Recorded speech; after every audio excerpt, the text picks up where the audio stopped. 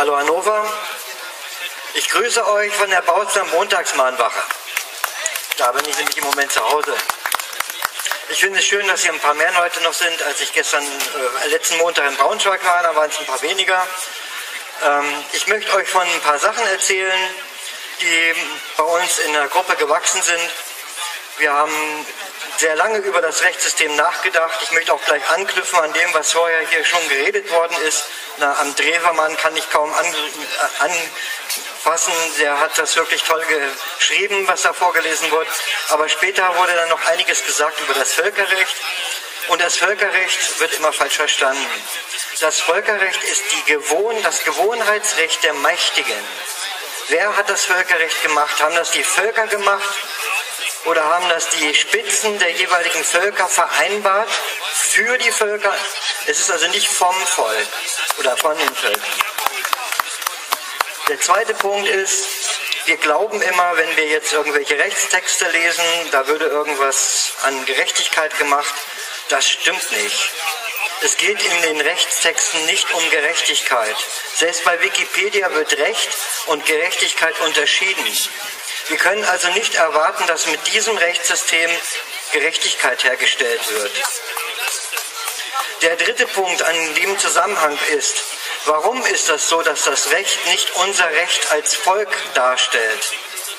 Weil dieses Recht nicht vom Volk gemacht wurde.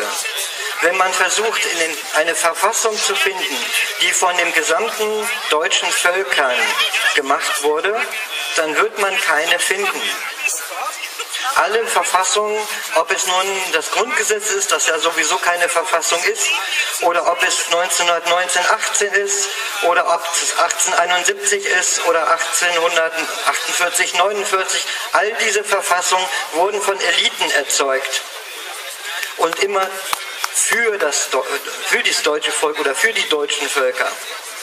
Und das sind die Probleme, an denen fängt es eigentlich an. Wir müssen eigentlich ganz viel lernen. Wir müssen uns damit befassen. Wir müssen es frei, also in freier, freiem Gedankenaustausch damit befassen und lernen. Aber das dürfen wir nicht. In den Universitäten, in den Schulen wird sowas gar nicht ge gelehrt. Also die Grundlage des Rechts, wie das entstanden ist. Nur ganz selten. Wer weiß denn schon, dass das Recht entstanden ist durch einen illegalen Akt, durch eine Landnahme? In meiner Schule gelehrt, in den 70er Jahren. Eine Ausnahme bestätigt die Regel. Okay, also es gibt auch Ausnahmen, keine Frage. Aber in der Regel kann man das schon so sagen, wie ich es gesagt habe. Also wer, wer weiß, dass das Recht entstanden sein soll, Karl Schmidt hat das geschrieben, ähm, das Recht ist, entsteht durch Landnahme. Da geht also einer hin, besitzt ein Land und sagt, es ist meins und dann kann er die Regeln darauf bestimmen. So ist das Recht entstanden. Und irgendwann gibt es ja kein freies Land mehr. Und die Europäer haben es ja sogar gebracht, sind nach Afrika gegangen in den Kolonialzeiten und haben dann einfach Länder besetzt und da die Könige, die es da ja auch gab, ja, die haben das ja nicht so gemacht wie wir. Haben, deswegen können wir das, ist das freies Land, wir können das einfach übernehmen und dann ist das unser Land. Und die mussten sich mühsam wieder freikämpfen. Aber worin haben sie sich freigekämpft? In dem gleichen Rechtssystem, was die Europäer vorher gebaut haben. Das heißt also, wir haben hier insgesamt nur ein Herrschaftsrecht, das die Gewalt und Herrschaft der Eliten legitimiert. Mehr haben wir nicht, wir haben nichts anderes. Dann geht es weiter. Wenn man, wenn man weiter recherchiert, man kommt auf das Seerecht und auf das Landrecht und, und äh, äh, versteht nicht, was soll das, verschiedene Rechtskreise und so weiter. Das hat alles einen Zusammenhang. Zum Beispiel aus dem Seerecht, das ähm, auch in den Stadtrechten in der Hanse weiter verbreitet wurde, entsteht später das Admiralty Law, also das Kriegsrecht der, Engländer, das Seerecht der Engländer. Und ähm, daraus entwickelt sich das weiter. Auch das Handelsrecht ist diesem, mit diesem Teil verwandt. Und inzwischen will man über den UUC-Code oder UUC-Code ähm, ein weltweites Handelsrecht etablieren, das die einzelnen Staatsrechte verdrängt.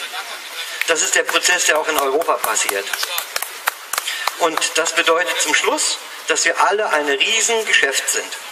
Wenn man also sich darüber wundert, warum jetzt hier über Produktionszonen oder Wirtschaftszonen geredet wird und das ein wichtiger Teil der, der, äh, der Politik geworden ist, dann das muss man sich nicht wundern, das ist angelegt, das ist so gewollt.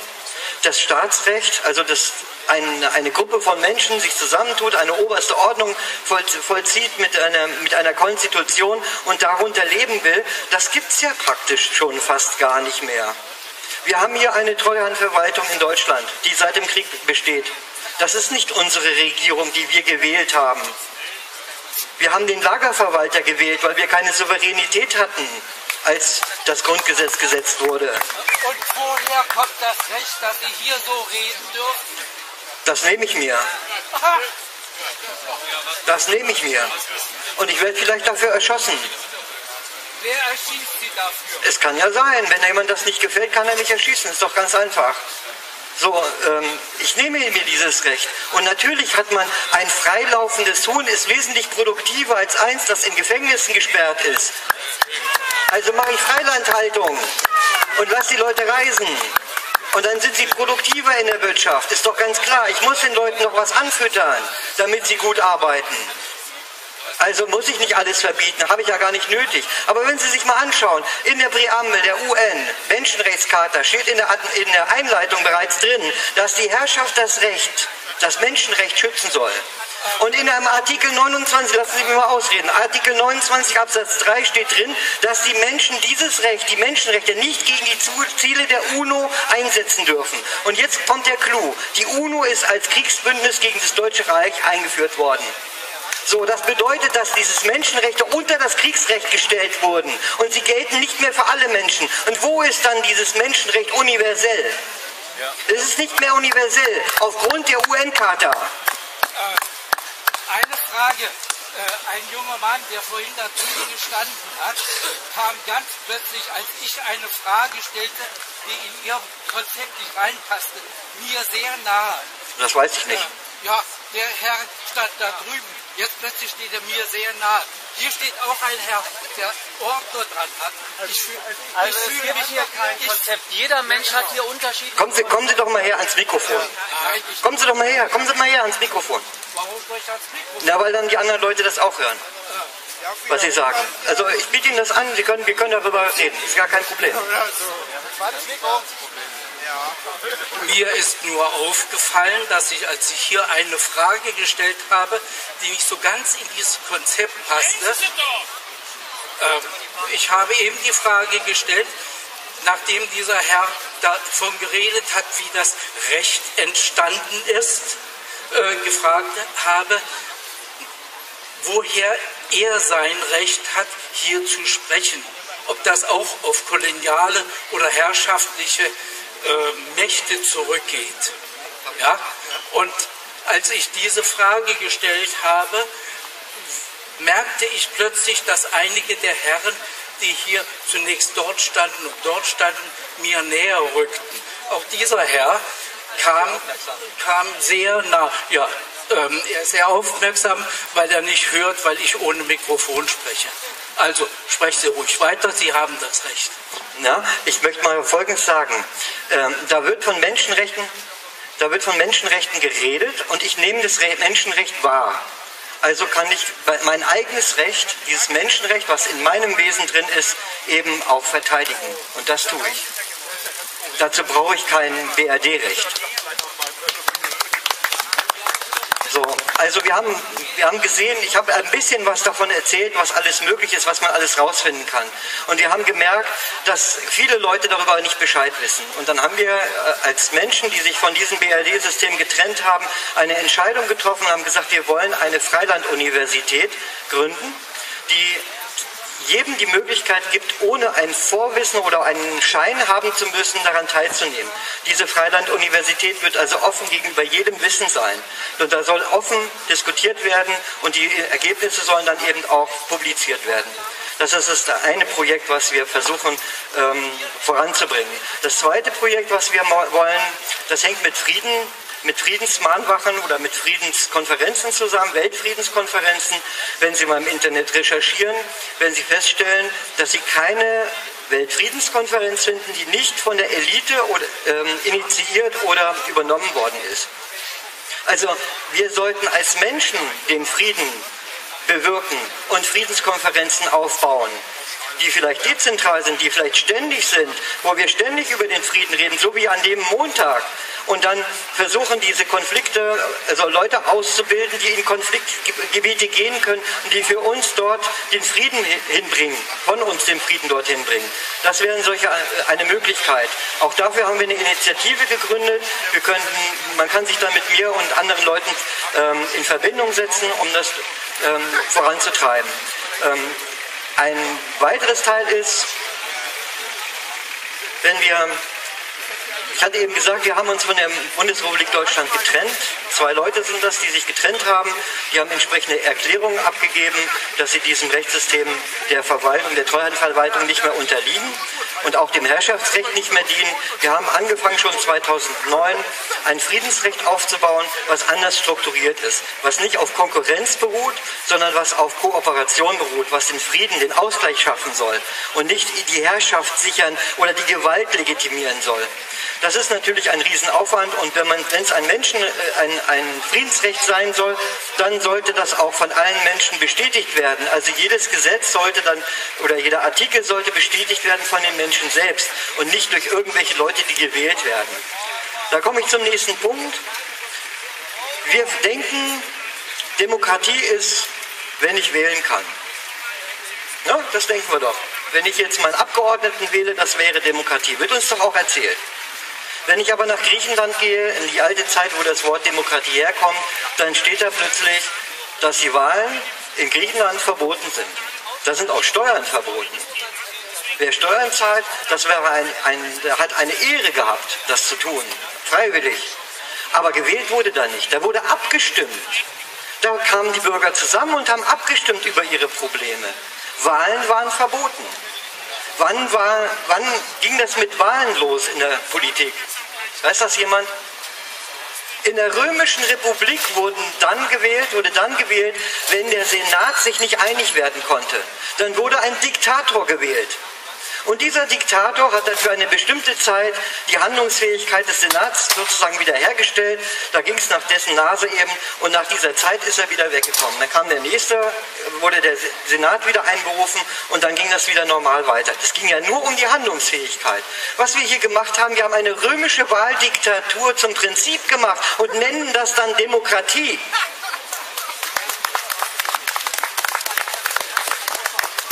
So, das sind solche Dinge, die man aber erst rauskriegt, wenn man sich mit den Sachen befasst, wenn man sich wirklich reingeht in die Sachen. Einige Leute haben das gemacht, die können ihr Wissen weitergeben.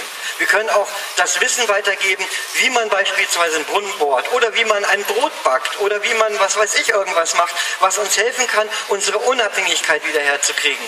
Denn wenn man, wenn man beobachtet, wo kommt denn Agent Orange her? Das war ihre, ihre Sache. Monsanto. Womit hat Monsanto angefangen, sein Geschäft zu betreiben? Mit Saccharin, mit Koffein und mit Vanillin. Also mit den Waffen, mit den stillen Waffen, die jetzt in diesen ganzen Produkten drin sind und uns abhängig machen von diesen Produkten. Das heißt, es gibt ganz andere Waffen, denen wir ständig ausgeliefert sind. Wir brauchen nicht diese direkte tötenden Waffen zu benutzen, um die Menschen zu beherrschen.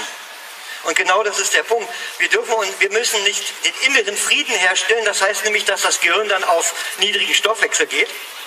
Dann können wir nicht mehr denken, sondern wir müssen Gelassenheit haben. Da innen drin soll es weiterarbeiten. Wir müssen die Probleme lösen. Aber wir müssen gelassen sein gegenüber den anderen, die anders denken, weil wir ja den Frieden zwischen uns haben wollen. Innen drin haben wir dann immer noch, solange die Probleme nicht gelöst sind, keinen Frieden. Und es fehlt, das ist alles super, was du da gerade sagst, aber es fehlt auch noch etwas ganz Gewaltiges. Also ich höre hier ab und zu mal, äh, ja, woher weißt du das, warum sagst du das denn und kannst du doch gar nicht machen. Doch, ich kann das. Ich bin, ich kann das wirklich. Weil das kommt alles aus mir heraus. Und das, was noch fehlt in der Aufzählung, ist Empathie.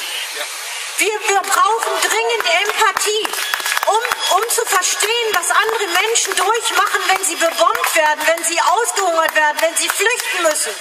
Für wen? Wer diktiert das, dass Menschen so brutal leiden müssen?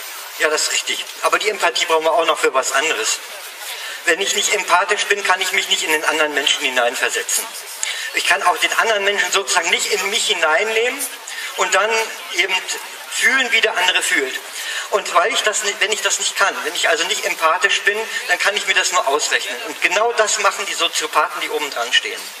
Das heißt, das heißt also, wenn ich also so an dieser Stelle weitergehe, ja, ich höre jetzt gleich auf, wenn ich also an dieser Stelle weitergehe, für den Frieden brauche ich die Freiheit. Und die Freiheit ist verbunden mit der Verantwortung. Je mehr Verantwortung ich trage, desto freier kann ich sein. Und das ist das Problem. Wenn hier in Hannover mehr Leute Verantwortung annehmen würden, dann hier zum Beispiel mithelfen würden, dass das hier auch organisiert werden kann, dann würden wir mehr Freiheit haben und damit mehr Frieden kommen. Wunderbar, ich hoffe, du bleibst uns erhalten. Ach, wie schade. Aber ähm, das wäre noch eine Möglichkeit. Man könnte mich auch ordern. Ich kann viel mehr erzählen über ein paar Stunden über diese ganzen Konzepte. Dazu muss ich aber ein bisschen Geld kriegen. Okay, wir sprechen da noch drüber.